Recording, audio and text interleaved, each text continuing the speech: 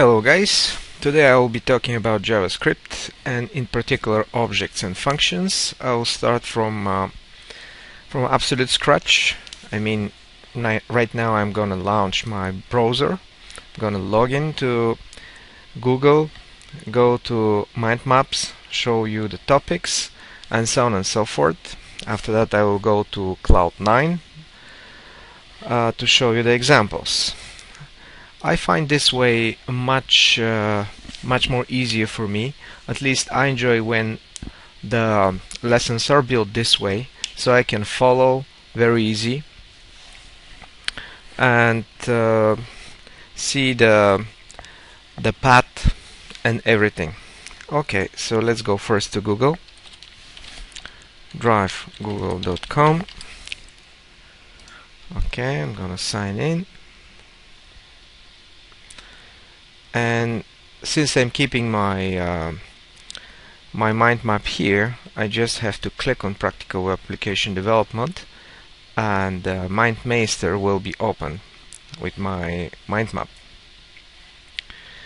Even though it takes a little bit longer I find as I said this uh, much easier. So you can uh, easy follow the steps. You don't have to think afterwards.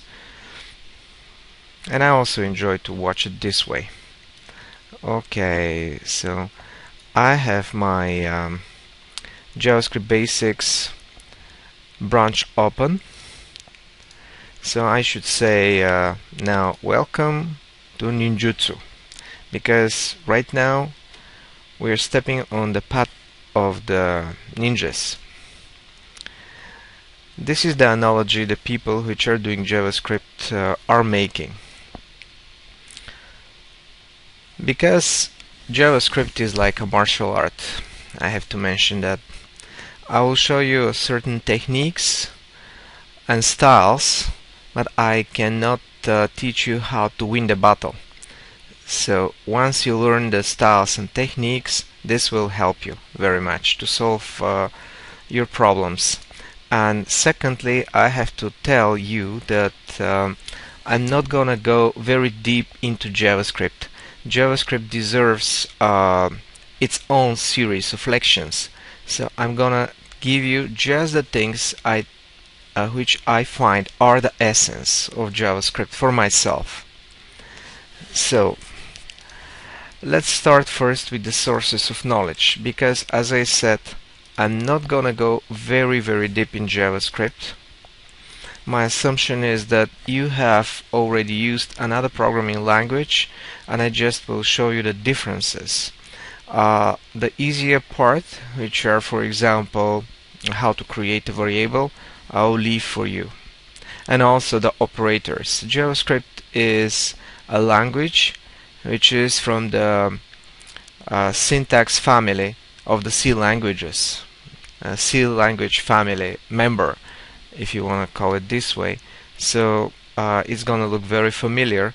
And 10 years ago the people very much used to underestimate JavaScript and everybody who was programming Java or C++ uh, would say yeah I know JavaScript. So that's why I'm not gonna describe JavaScript in details. I'm gonna show you the sources where you can go and read.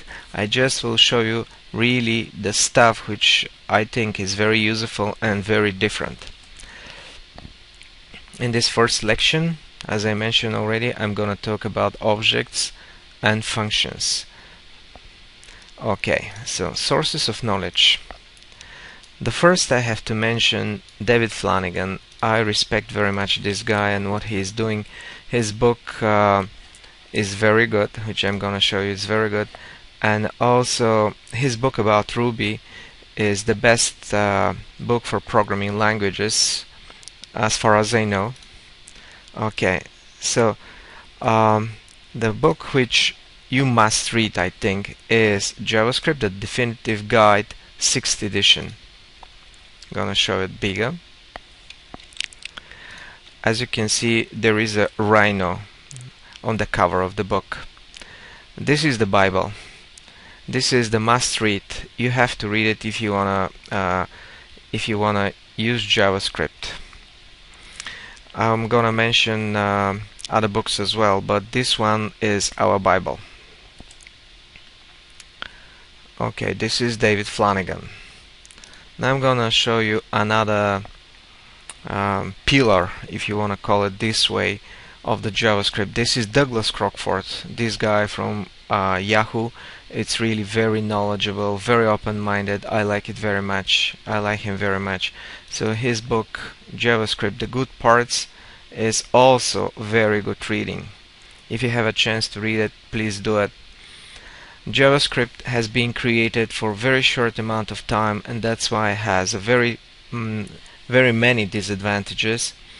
Uh, at the same time it's extremely powerful language. And Douglas Crockford explains how to use only the good parts of JavaScript and forget about the bad parts. So if you have a chance, please read it. Douglas Crockford. Another very popular guy is Nicholas Zakas. His book with the O is very uh, very nice as well. Stoyan Stefanov again from Yahoo. Nicholas Zakas is also from Yahoo. JavaScript patterns. It teaches you how to use uh, the patterns which we were talking about in the previous lessons. But in the world of JavaScript, for example, um, singleton or observer or such design patterns which are men mentioned by uh, Eric Gamma in the book, uh, in their design patterns book. Gang of 4 I mean. Here you can find the implementation in JavaScript. Very nice book. Coding standards are also mentioned. Naming standards as well.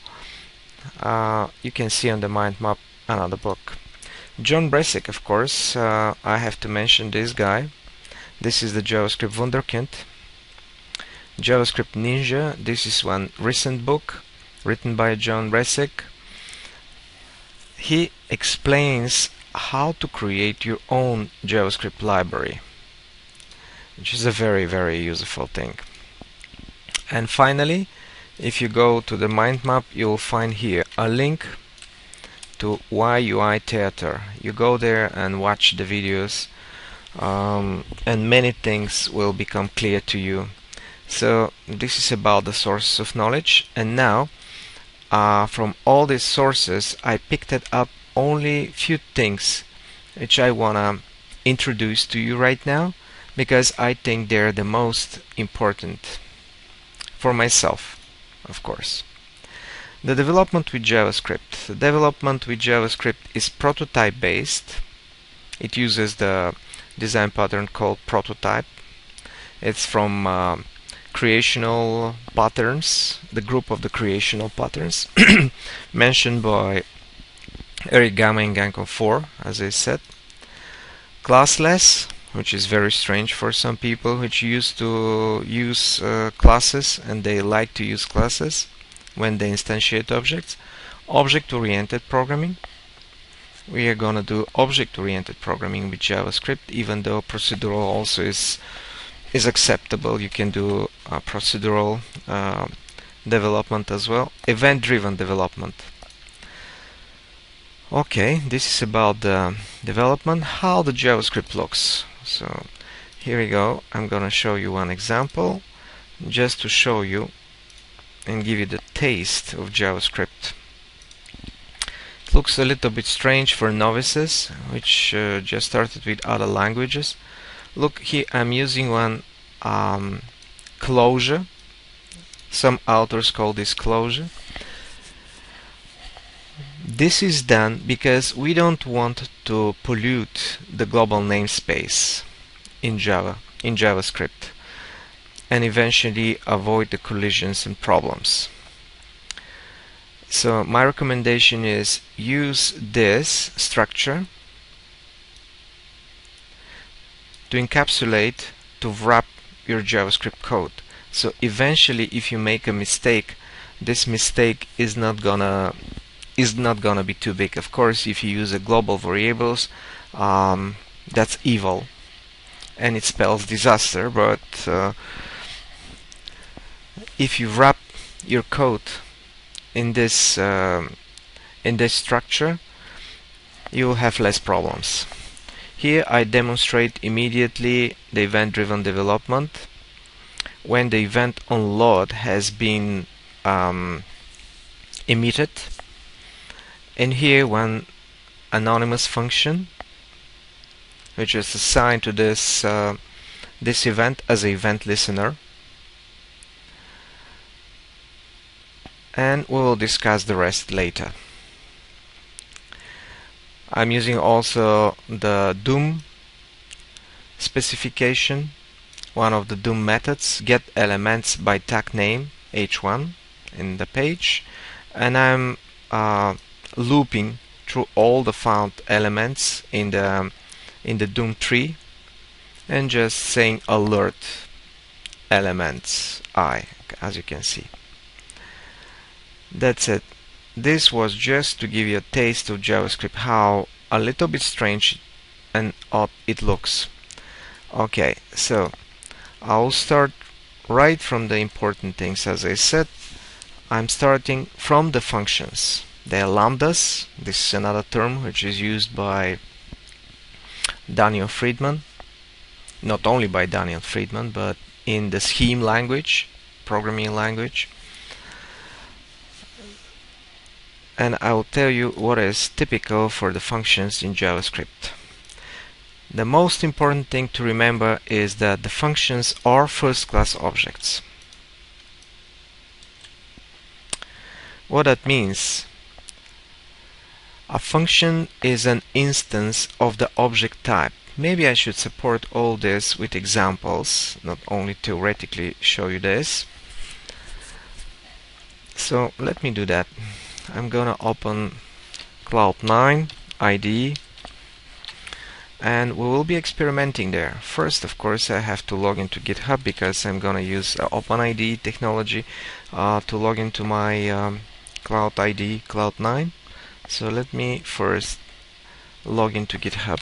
I think I already logged it but I will log out because I don't want this account to be used. I'm gonna use another account. Just give me a second to type my credentials my username and my password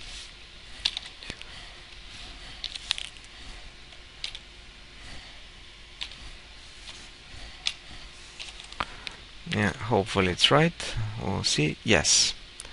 Okay. Now I can log in sign in using the github. I already have uh, my project which probably you very well know already which is called FMI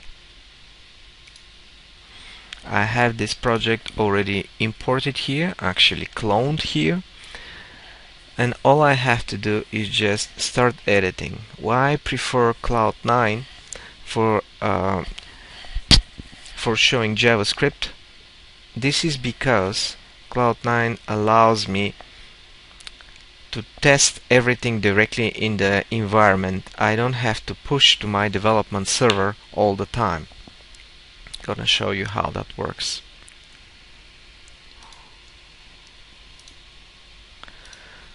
Because I did this selection before I already have some of the files open. So what I'm gonna do is I already have created one file which is called index.html and I will describe the way I did it. But the most important is I have created a folder which is called Stoyan Cheresharov by my name inside I have CSS images and JavaScript. And right now I'm gonna build um, I'm gonna build everything for this example for this tutorial. As I said uh, I've done it already on Bulgarian language for my students in the university so I'm gonna do it for my viewers in the web as well. First time doing this for myself and after that for my friends and colleagues and my students okay. So here I'm uh, telling the browser that I'm gonna use HTML5 I don't need quirk modes HTML head into the head I have a title JavaScript experiments. Loading JavaScript with the tag script type tag JavaScript source just experiment.js of course I don't have this file. I'm gonna create it. I think I don't have it so I'm gonna create it for you. And the link type text CSS uh, I'm also using a CSS okay let's see how everything looks right now. So here it is uh, the advantage of Cloud9 I just will say preview and on the right hand side oh I have done it already so um, on the right hand side I see a browser which I can use to show all the things which I'm doing. I'm loading experiment CSS so let me create this, this file in the CSS folder even though maybe we're not gonna use it at all. Here it is. Let's look at here.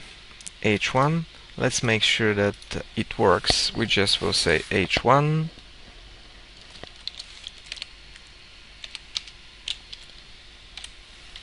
let's make the color red for example. We're gonna play today in this tutorial in this lection just follow me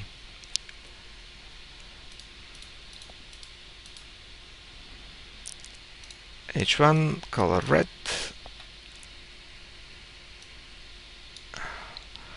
Yeah it should be CSS of course.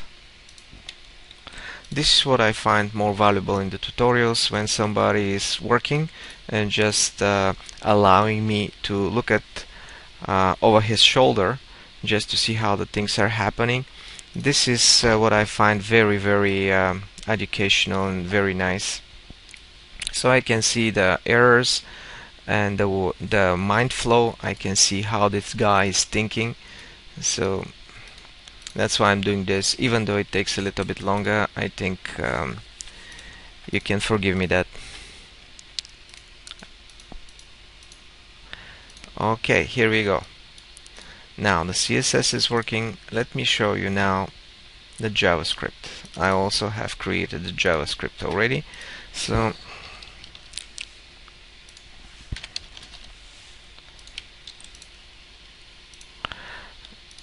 let me comment everything. And we will go uh, we will come back to what we where we were before.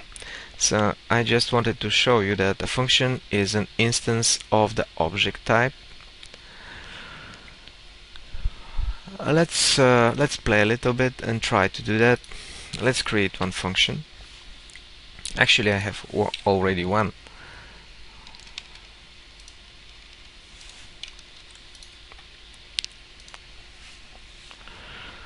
I'm gonna stop this.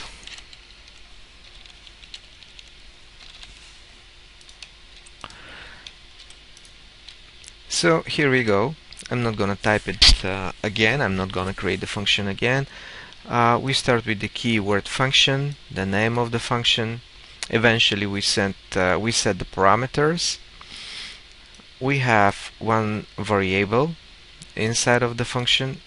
Notice the keyword var which, uh, which, uh, which we um, indicate the fact that this uh, variable, new variable, if we don't put this var, this name will be treated like the global variable and will pollute our global namespace. So don't do that. Use always var in inside of the function unless you wanna um, you wanna use a global variable or you wanna pollute the global namespace okay there there are another interesting things about that but um, we'll talk about this maybe later. I don't want to promise that we're I'm gonna talk about JavaScript. Maybe I'm gonna create a different series of lections especially for JavaScript. So I'm not promising that uh, I'm gonna mention this uh, in this series of lections okay. Let's see type of this uh, operator alert and let's try type of my example and let's see what JavaScript will say here. Function.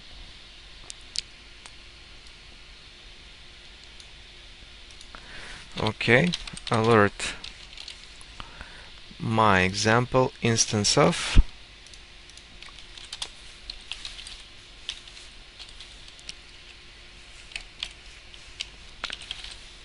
object. They're predefined classes already as you can see which allow me to function is the type of my example true alert my example instance of object. This is what I was talking about. So as you can see my example is an instance of one standard class called object in JavaScript. This is what I what I was meaning before. Okay a function can have properties and has a link back to its constructor method. Okay let me show you that as well. I will uh, allow myself to, to show you that. Look now, the strangest thing I can do here is that I can say function and I will say prop1 equals and I'll give a name. For example um, property 1 I don't want to blow your mind so um, probably I will stop doing this. Just um, showing you how everything looks and just theoretically go quickly through everything what I have to say and after that concentrate on the examples which I think are very important.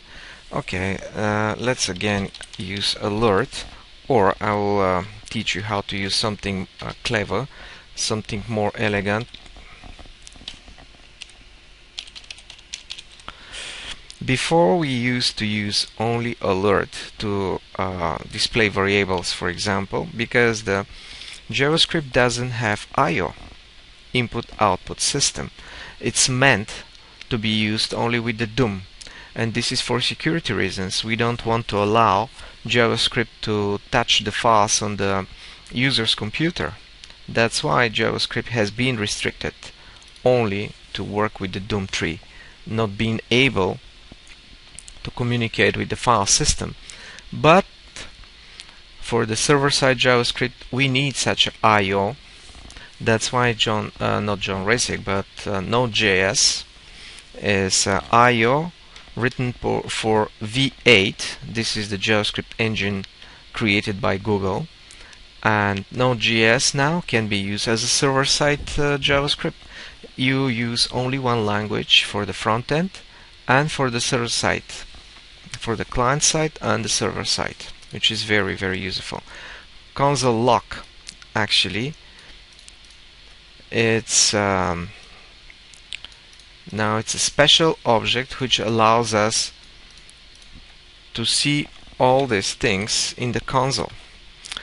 All new modern browsers have such thing console.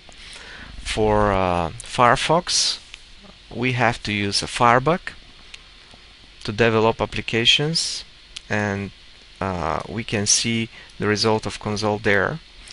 For um, uh, Chrome we also have development tools and also have a Firebug which we can install as a plugin and use it. What I'm gonna use here is the native for Chrome is the native uh, development tool. Okay so let me show you now my example property. As you can see I just assign one property to a function my example. It could be even a function. Function true. This is this alert and now look here. Property 1 I just want to mention something else I think it's important. What you can do is you can type in the console directly as you do in the in a terminal window. For example for Linux I will uh, show you. Alert and I'm gonna say here hello world. And as you can see it has been executed okay this is our development tool. Those are things uh, which I think are important for uh, for JavaScript. I just show it to you how the um, how the first class object function one function can have own properties. Okay let's continue. You can store a function in a variable. This way of defining function is called statement function statement. But the function could be uh, defined as a literal. So I'm gonna say var. I'm polluting right now the global namespace even though I'm using the keyword var because I'm not into a body of a function. So I'm gonna say uh, my global. I'm gonna give a value. Yeah. My global function. Okay um, and I will say for example return.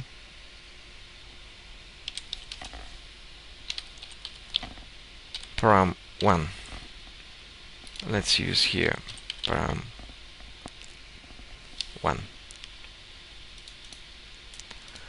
return param1 and I'm gonna call this function this way. I just assign a function to one variable. So I will be calling this function using this variable. My global my global maybe I should call it function.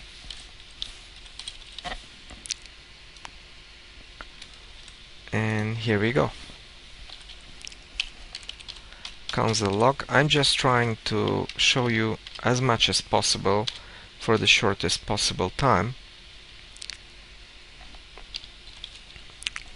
Comes Console log. Here it is, the function. And I'm gonna execute it. I'm gonna send, uh, for example, I'm gonna send my name.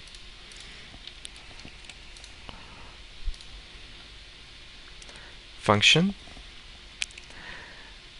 This alert message we get from here.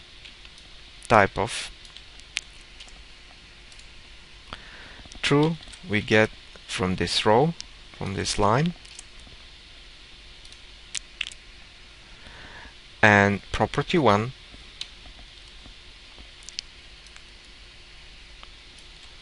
we get from this line and this one we get from this line. Okay so far so good I just think I uh, I went ahead of myself but I'm gonna repeat this again. In this lection you can pass a function as a parameter to another function. Let's say uh, I'm gonna define right now another function. I will say function my uh, next function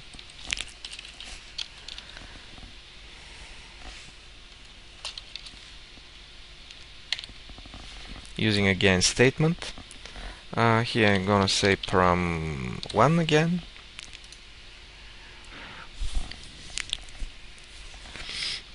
And I'm gonna show you what I'm gonna do now.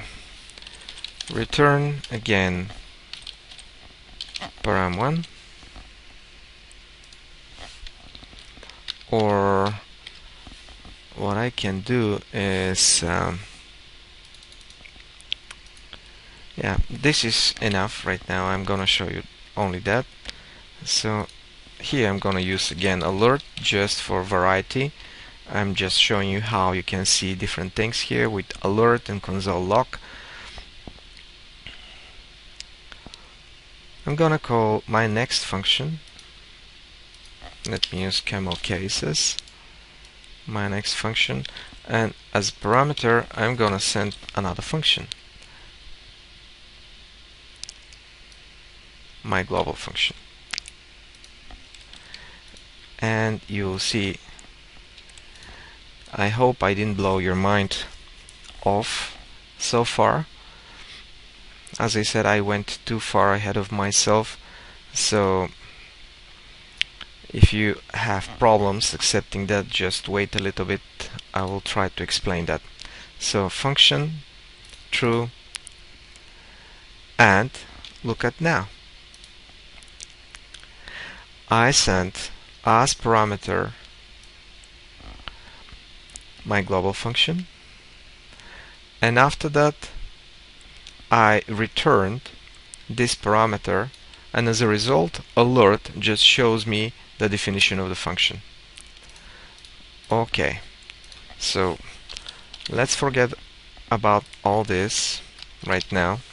Because I hope I didn't blow your mind off and let's continue with the theory. I very quickly will go through the theory. I'm not gonna get into the details and examples when I talk about that. I just will show you the uh, small snippets. And uh, we'll get right to the target. Okay. You can return the function from a function. I just show you that with the example. Okay. So one example which will show you actually why um, why the function is a little bit strange in JavaScript and why it is the Swiss Army knife for JavaScript because it does almost everything. Okay, here it is the example. Let's go to Cloud9. I already have done this example, so I'm gonna show it here for you.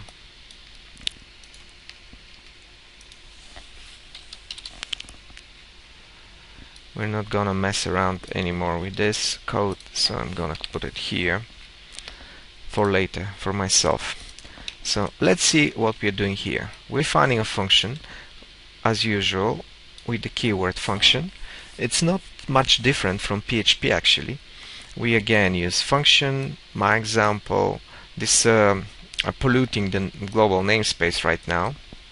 Example var name stoyan alert name. Okay, if we don't want to pollute a global namespace, I'm gonna tell you what we can do. Actually I show it to you already. I have to wrap everything what I'm doing all my code in this construction function. So look what we are doing here. I will create this a body of one anonymous function which gets executed immediately. There is another way to do it as well. You will achieve the same. But I'm showing you this this approach right now which is uh, commonly accepted. Okay right now my example this function is not a global function anymore because it is defined inside of the body of another function which is anonymous and gets executed immediately by using the execute operator. Okay so as I said I hope I didn't blow your mind so far. Look now. I'm gonna explain what is going on right now. I'm executing first look what we are getting here. My first alert is the name of the function itself. Notice I'm not using the execute operator. I mean the round brackets after the name of the function. And what I'm getting is as a string the definition of the function. The second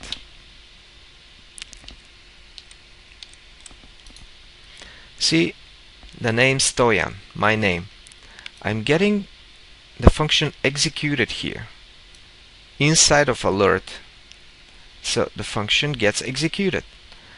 And in the body of the function I have here alert. So this alert is executed. That's why I'm getting stoyan. Now if this function returns a value this value will be shown by this alert but I'm not returning anything so I'm expecting undefined and here we go this undefined come from this alert because the function doesn't return anything and the alert just uh, has nothing to, to show and it shows undefined. The next one is my next alert new my example. So what I'm doing here is I'm instantiating one object of class my example. The function plays the role of the constructor of this class of objects. So the, when the constructor gets executed, I will get again alert with my name. So I'm ex uh, expecting right now to see Stoyan again. Yeah, here we go. Now, during the instantiation of this new object, I'm executing the constructor of this class of objects and because into the constructor I have one alert naturally I get this name which is defined inside of the body of this function which is plays the role of the constructor. Okay and now we'll see the new operator actually creates one object and this object gets returned. So I'm expecting here to see a message which contains the word object. And here we go.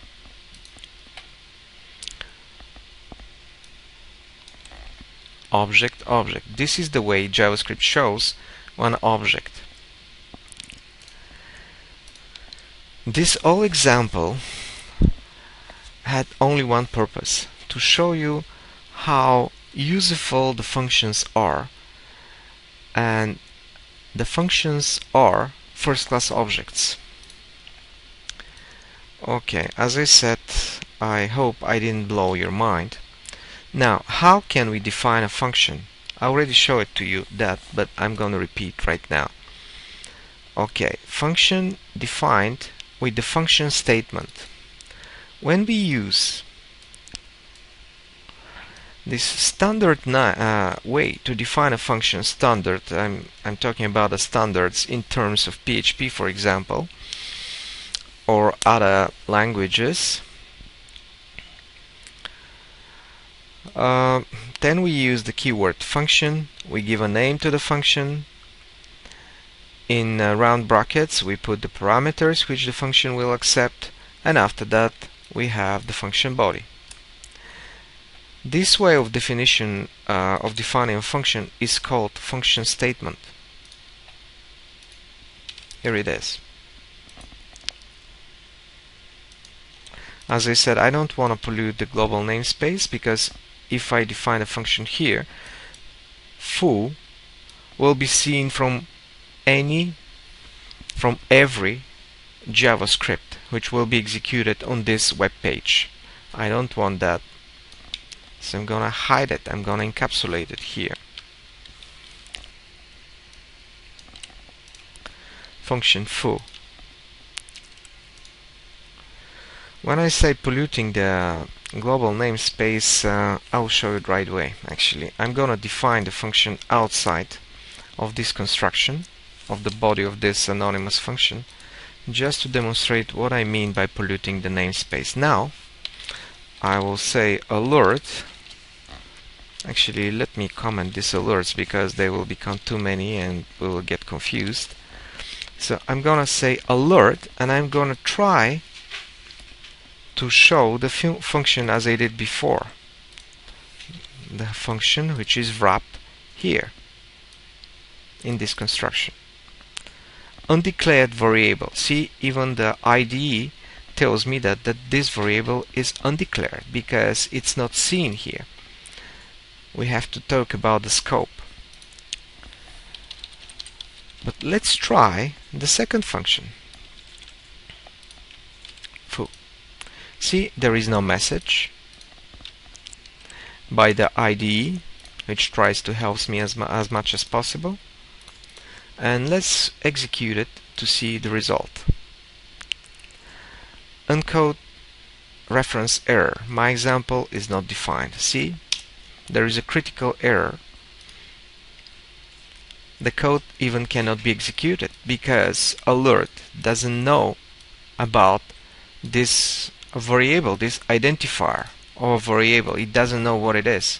Is it a function or is it the objects or whatever it is? It doesn't exist. But alert here, as you can see with foo, works perfectly. Uh, and I'm gonna show you that. See? Okay. So let's make another experiment. Let's move right now foo into this construction and you will see that foo now will become invisible for the alert. Alerts are in the global namespace right now. It's out of the scope. We don't see foo anymore. We'll get errors. So I'm gonna comment this. Okay, so this is a function statement. With a function statement we can define a function. Now, function defined with literal, uh, literal expression.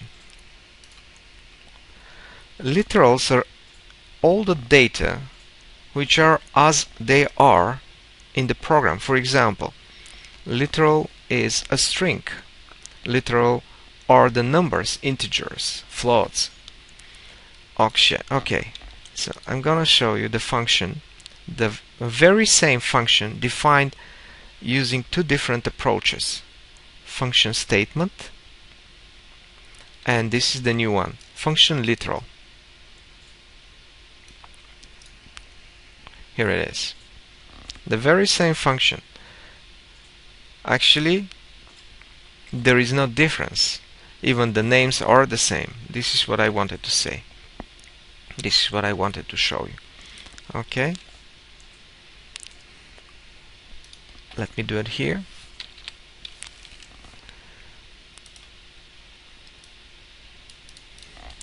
New variable f and I'm assigning to f a new function. No errors no problems. Okay. With the function class. Okay, there is a predefined class of objects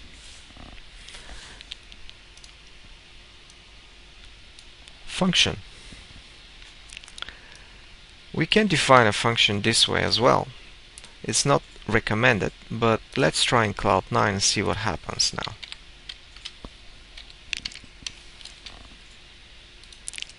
Look now what the IDE says, it's evil the function constructor is evil. See? It's not recommended way of creating functions. My function is not used as well. So that's why it's um, it's shown this way. Strike true, strike true. New function. Those are the arguments. Argument 1, argument 2, and we we have the body of the function defined here. Okay, I'm gonna comment this as well. This is about the definition of the functions. Universal properties and methods. I'm not gonna probably give you examples because this lecture will become too big, too long. My new class length. Okay. Or I changed my mind. Okay, let me show you that. I have one function which is called my example so let's try length. Alert my example and I'm gonna say length. See in Cloud9 we even have a code assist or IntelliSense. Let's see what happens now. Ooh.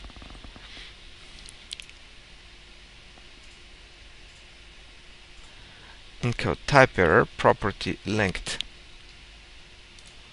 Of course it should be like that. It's a property so I shouldn't rely too much on the IntelliSense 0 see we accept here in this function zero parameters and the my example length gives me the number of parameters the function will accept let's put one parameter and see what happens. Let's execute again. I'm expecting one. Yeah exactly. And I'm getting one. Now my class prototype. Okay let me discuss this a little bit uh, a little bit later because this property allows us to do inheritance in JavaScript. But I don't want to get too ahead of myself as I said. Now the two methods. Immediately when you create a function you have those properties they're already defined for us we can use it and also two methods call and apply. Okay. So let me discuss this also a little bit later. I just will tell you that call allows us to execute the function in a different context. This is uh, related to use of a keyword this. In other languages you know that when you use this you mention you mean this object. So when the function gets executed it gets executed in a certain context. With call and apply you actually can change this context. The value of this keyword changes. Okay, so um, let me show you this actually. Let's for example use keyword this in the function my example and say this uh, property equals um, and I will put my name again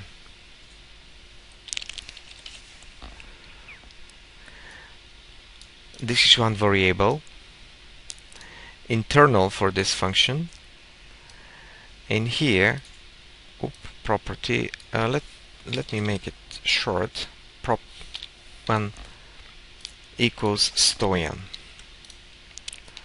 Okay, let me execute everything. Make sure that everything works.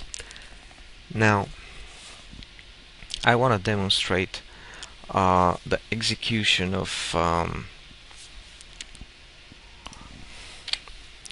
of method call, for example. And I, I will have a second alert here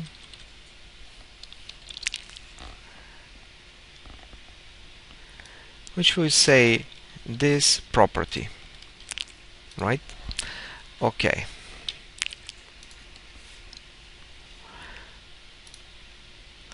Let's execute the function right now. My example.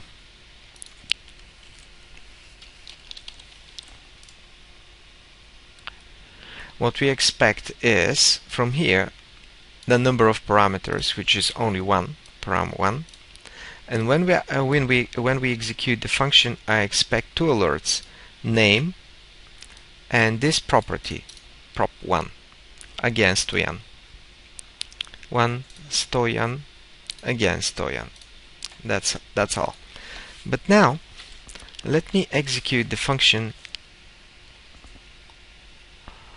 um, in another context.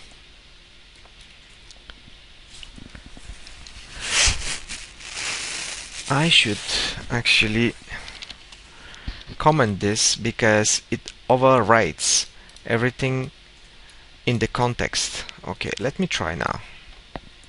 One Stoyan undefined. Okay. This is what I wanted to show you. Now I'm gonna execute this function in another context where I'm gonna define the prop 1 which I'm displaying. Okay, and I'm gonna do this by calling for example call and I'm sending arguments. When I call a function, the values which replace the parameters are called arguments. Okay, so I'll say my example call, and I'm calling the function. Notice now I'm going to create one object. This is uh, object literal and I'm gonna say prop1 property 1 I'm gonna say here Nicola. And if I want of course I can send uh, an argument. Let me send just one for example. Let's see what happens now. What I'm expecting to happen is the first time when the function is called here I'm expecting undefined. And the second time when I call it here I'm expecting to display Nicola. Let me try and see if that's true. 1 the number of parameters. Now I'm expecting undefined from the second execution. Oops say Stoyan. Yeah that's for the first alert. It has nothing to do with the second one. The second is undefined. This one. Now I'm expecting here the situation to be slightly different. I'm expecting Stoyan and after that Nikola. Let's see if that's true. Stoyan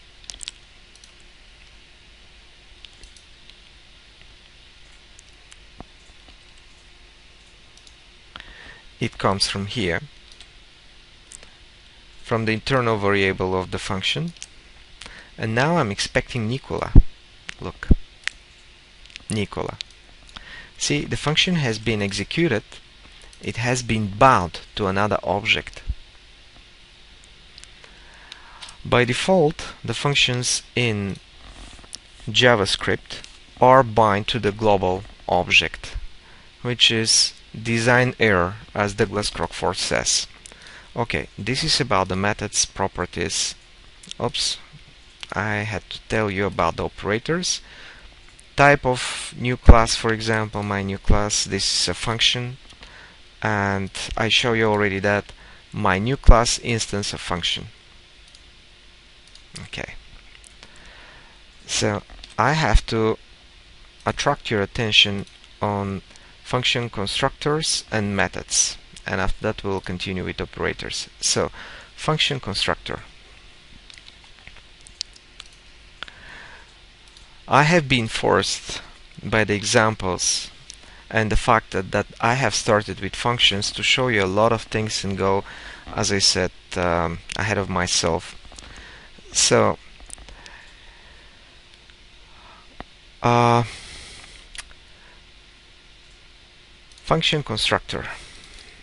I just will show you how it looks and after that I will discuss this a little bit later when I discuss uh, objects. Here it is how it looks.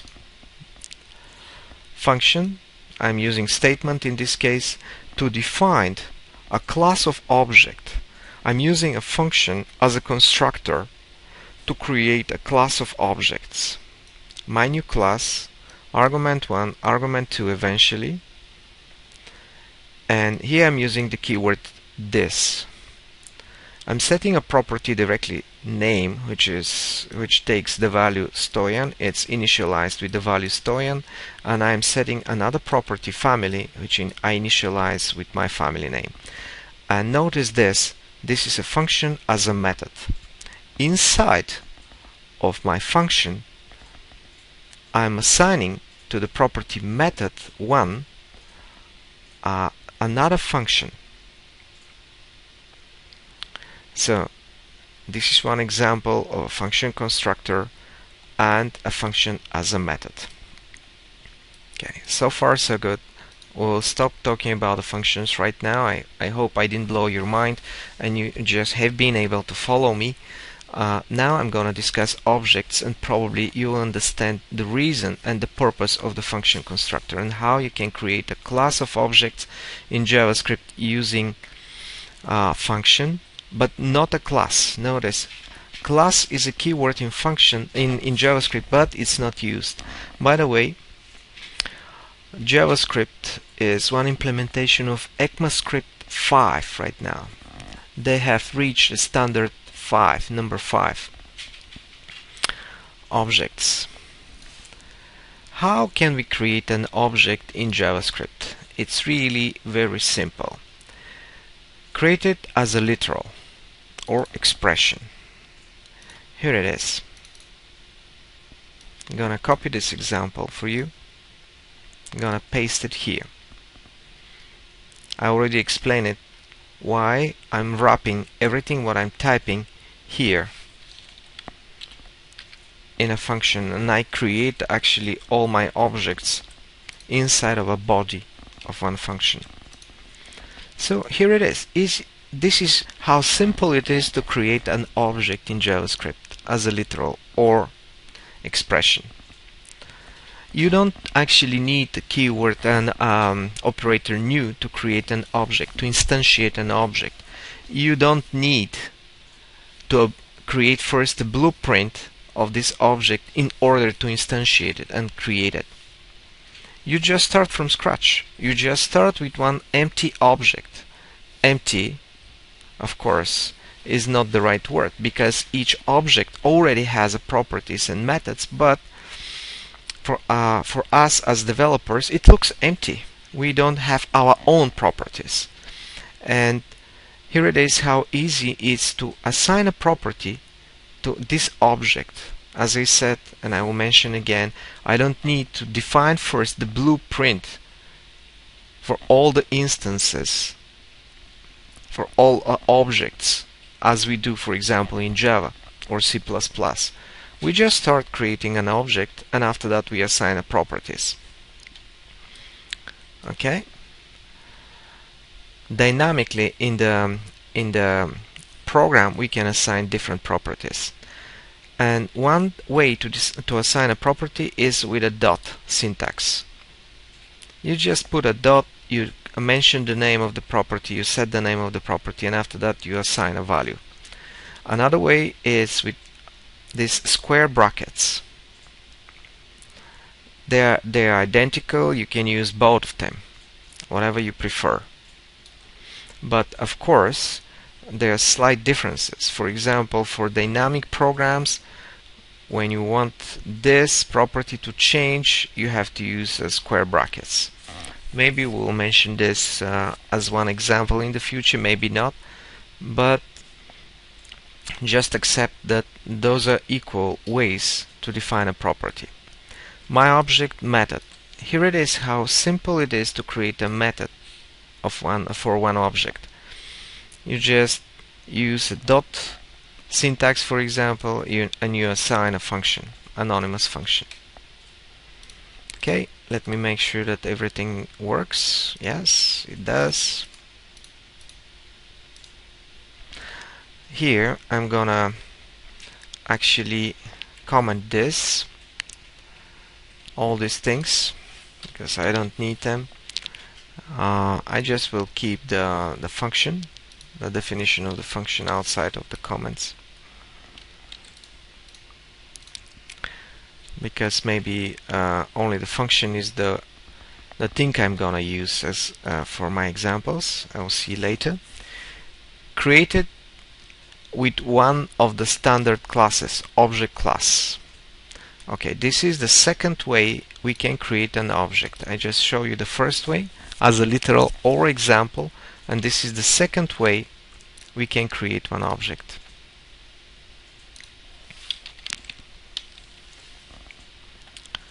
This is identical.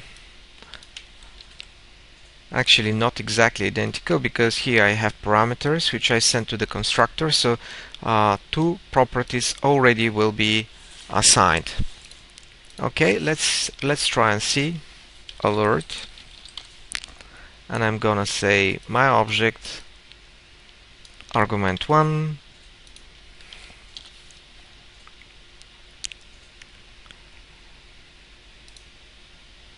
argument 1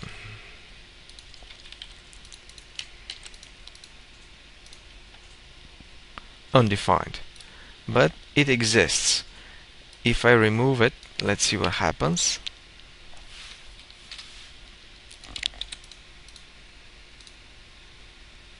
undefined.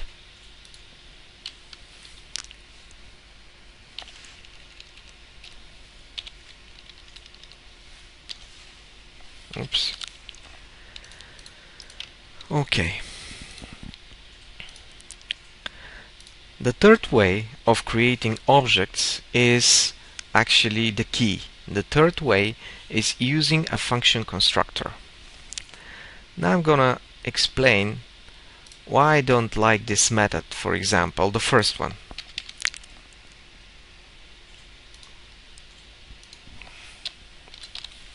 Look at now. I just start programming and instead of uh, creating a blueprint and thinking about how my class of object should look like and I defining a class and adding properties creating everything I just start uh, developing I just create one uh, empty object and I start assigning properties that's very good for one object what if if I want a second object exactly like the first one I have to repeat all these lines. I have to repeat them again.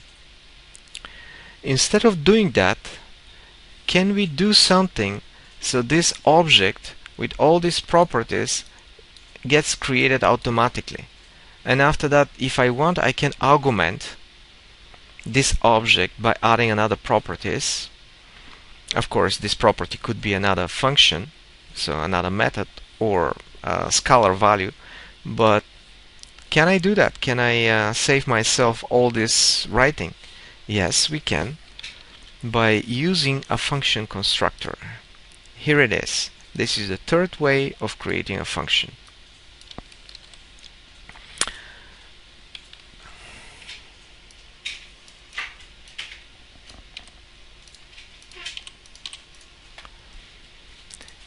If I uh, define such such uh, such function?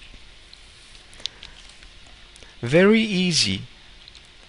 I can create such objects which have one property prop1 name it prop1 and value stoyan and one method which accepts two arguments two parameters has two parameters and says says alert arguments If I have to do this manually, I would do it this way. Wait a second.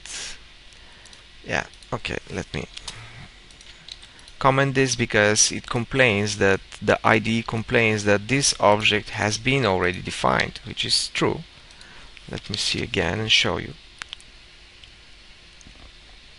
Here it is. It says my object is already defined. Yeah, and that's true. Here it is two times. We don't need that. So that's why I'm gonna comment this. Okay so if I have to do this manually I would do it this way. Var let's say I need one object I will call it object1 equals empty object. And now I have to say object1 I want to have a prop property name prop1 and I want to be initialized with the name Stoyan.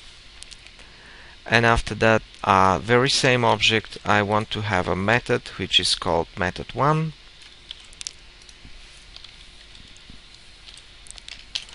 and I want this method to look like that. Okay So I'm using the first method, literal or expression, to create, to construct my object. I need one property which is named prop1 and I need one method which is called method1. Uh, I need my property to be initialized the same for the method. Now, if I need a second object, object 2, which is the very same object like the first one. I have to repeat all these steps. I have to do this again.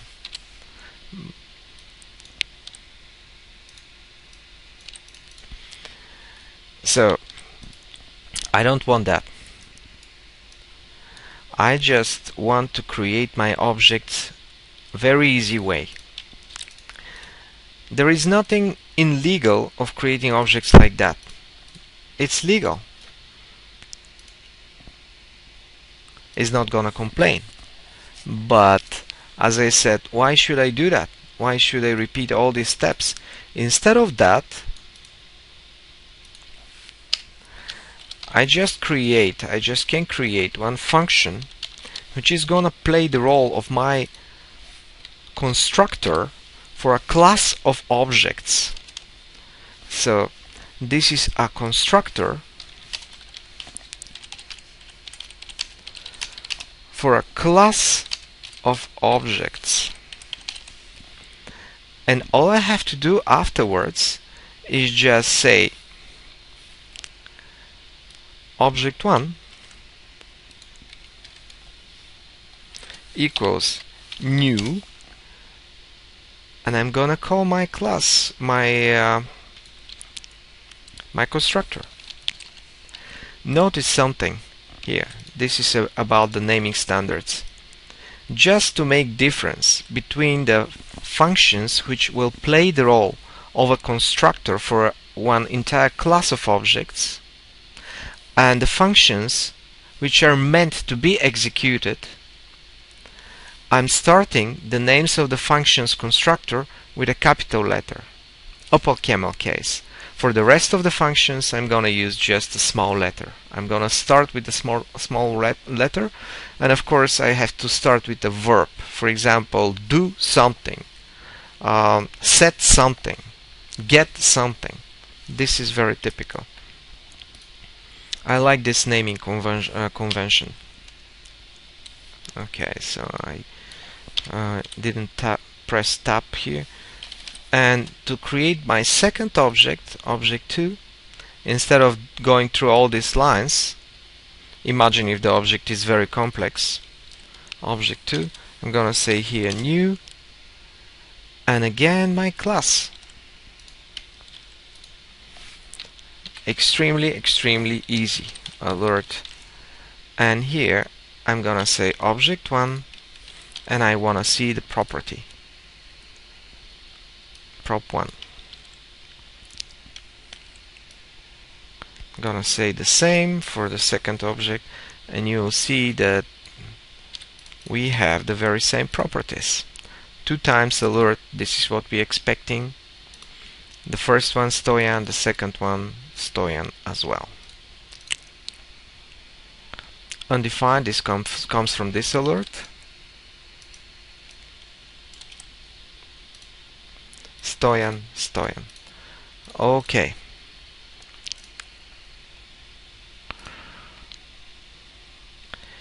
Universal properties and methods.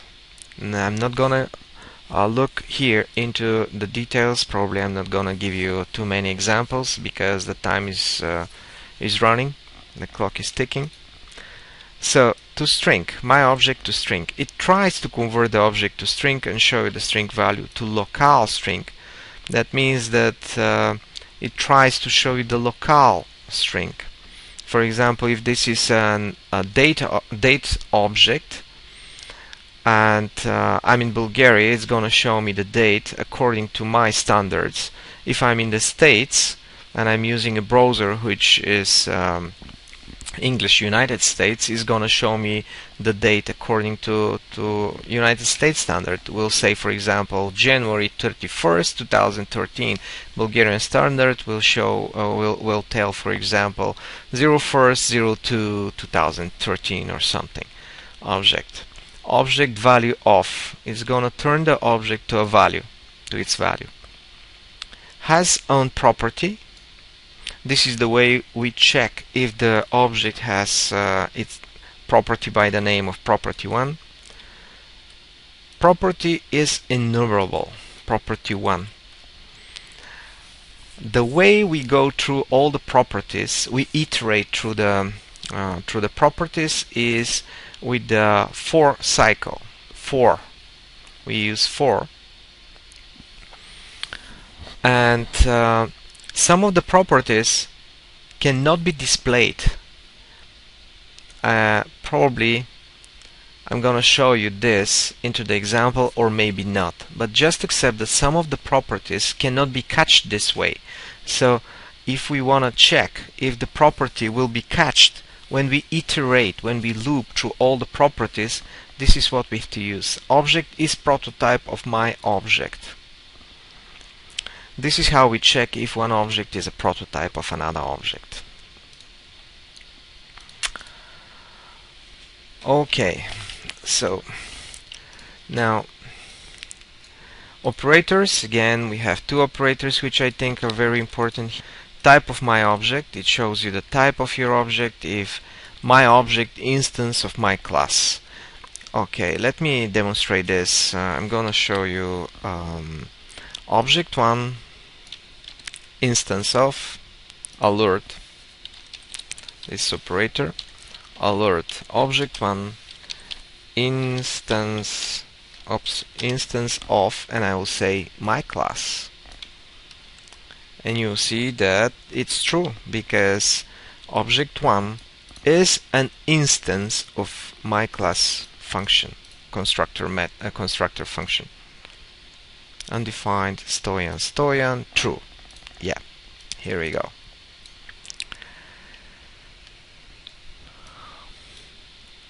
I'm gonna show you different programming styles. The first one is pseudo-classical.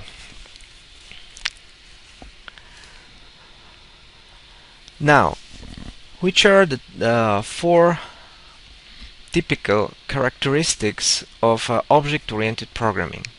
Those are inheritance, abstraction, encapsulation, polymorphism. Okay, we say that JavaScript is object-oriented. Um, we're, we're going to do object-oriented programming with JavaScript. So how these things can be implemented in JavaScript? Let's start with the inheritance. Inheritance can be done on a pseudo-classical way. I showed to you that the function is used actually as a constructor for a given class of objects. So how can we do that? How can we uh, use inheritance in JavaScript? This is the answer. This is the answer. I'm gonna display. I'm gonna explain uh, explain that very shortly. Let me copy the example and put it again here. I'm gonna comment this as well.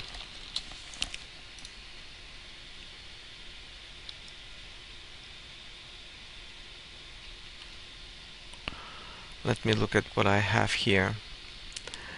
Okay I finished I'm finished with all this um, these snippets so I'm gonna comment them I'm commenting this and I'm not removing because I'm gonna push this to the public repository so everybody will be able to to get the code. And I don't want to create uh, too many different files because we'll get lost. I want to have everything in one file. I find this much more useful. Uh, in the examples actually I have all this um, a little bit better ordered so in the mind map if you go to the example 1 and example 2 you will see sections. For example objects. Create as literal expression so on and so forth.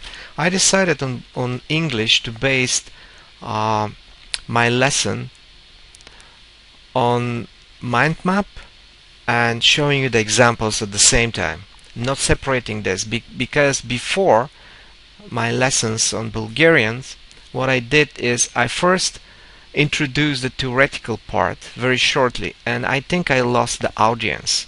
And after that I went through the examples. Then I saw that they waked up because they started to understand something I wasn't in the sky. So that's why I decided when I do the lectures on English I'm gonna talk a little bit theoretically and I'm showing the examples. Uh, but as you can see this way the example file becomes a little bit messy. I hope you will uh, navigate using the video which I'm making right now using the mind map and you will be able to find your way. So here it is. I'm creating one function constructor this function constructor will help me to create a class of objects. Okay but what if I already have one object and I don't want to recreate all this job? I don't want to redo again this job. Uh, I have one object with all the necessary properties. Here it is this object and let's say I have uh, name and family here. And I want to just augment this object with few more properties. I want to add a method. And here by purpose I, am going to repeat again the uh, the properties name and family. I just want to augment this object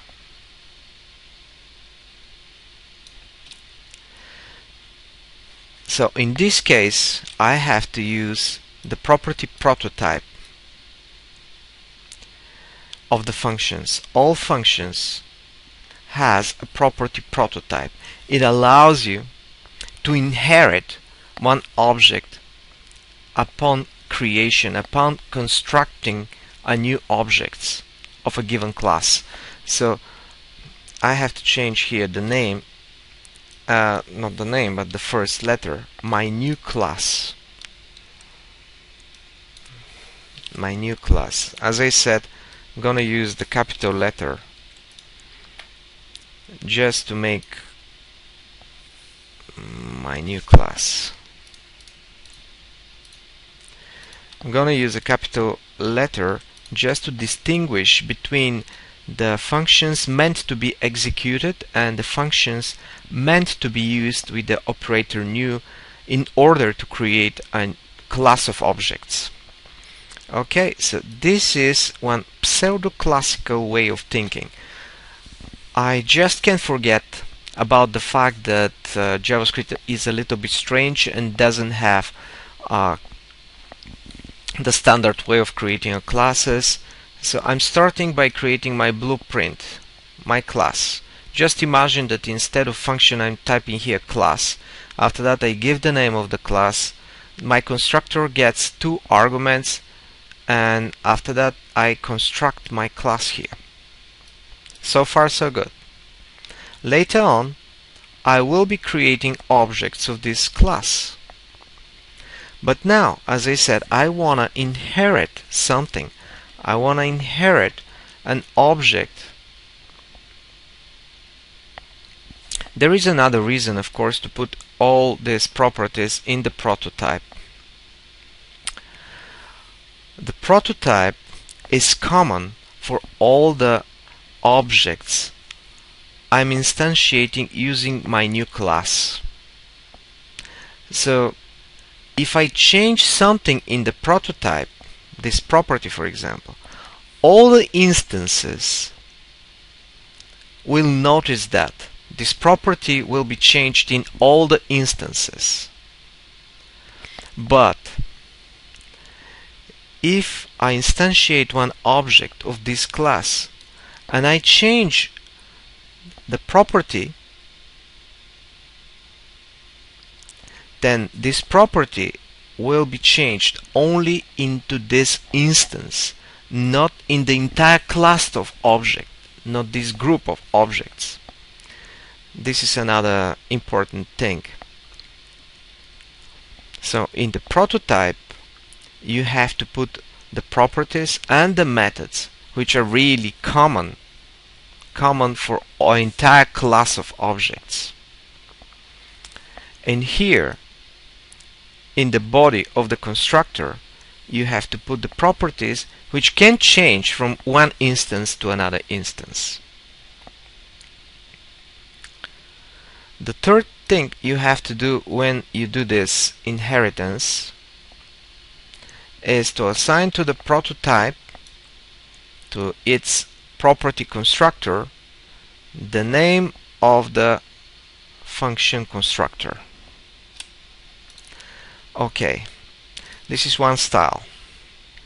And if I make analogy with the nunjitsu and the martial arts I will say for example um, there are a lot of kung fu styles. So far when I was talking about the functions and the objects um, I was giving you different um, techniques. But here I'm talking about the styles. So if I make the analogy with Kung Fu I would say that the pseudo-classical method is the method of the tiger for example. The second is the style of the eagle or something whatever you can think of. And the last one which I call the functional style.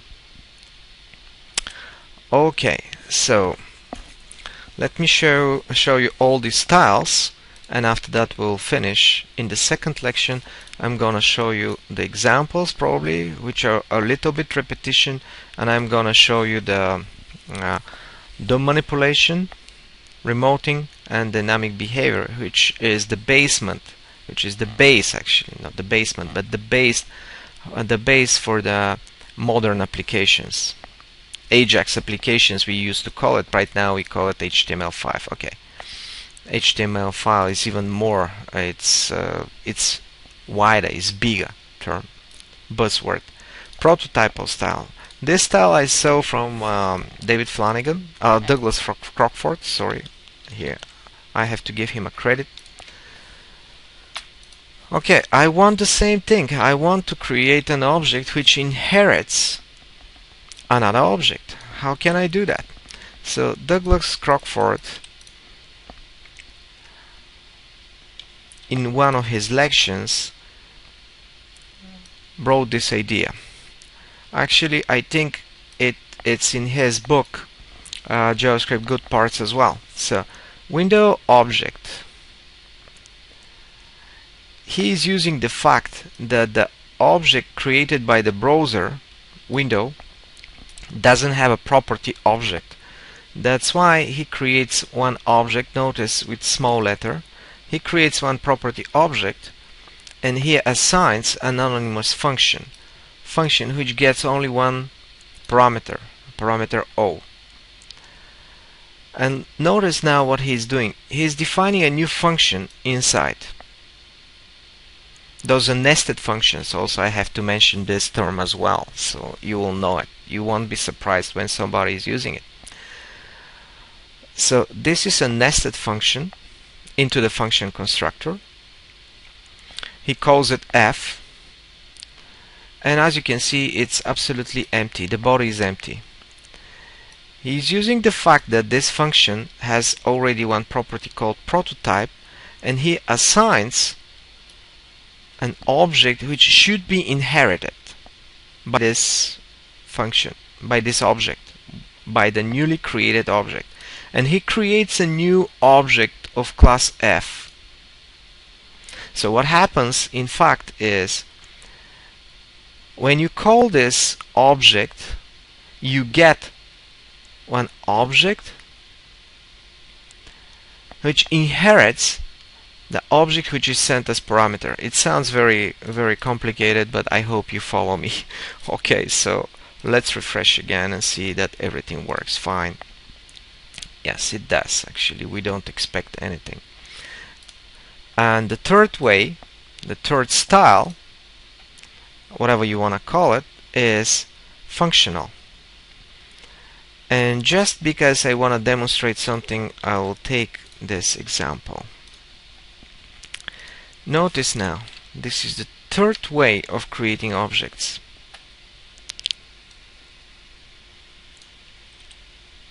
Let's see here undefined variable unused variable and here again we have we are missing semicolon. Sorry about that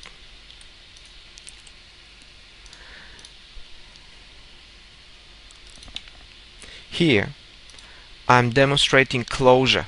This is a real closure which has a static variable. It's a very very interesting thing. Actually I'm gonna create one object. Oops sorry about that. I'm creating one object which object will have a static variable. And at the same time I'm showing encapsulation counter this property cannot be accessed from outside. So I'm as I said because this is a JavaScript basics I don't want to blow your mind but I just have to um, emphasize your attention on the most important thing at least which I think are the most important. With uh, with this third style I wanna stop now. I will have, I wanna wrap up and finish this lection and um, we'll continue with example which probably will make more sense to you. As I said it's a little bit repetition and I'm gonna show you uh, some of the DOM methods. How to do DOM manipulation remoting which is not of course the DOM method and the dynamic behavior which is more practical. Okay thank you for your attention. Um, this is a very long lection I didn't mean that in the beginning. This wasn't my intention but uh, I hope you have been able to follow me and um, enjoy the lection. Maybe it's gonna be useful for somebody else. Thank you for your attention. See you next time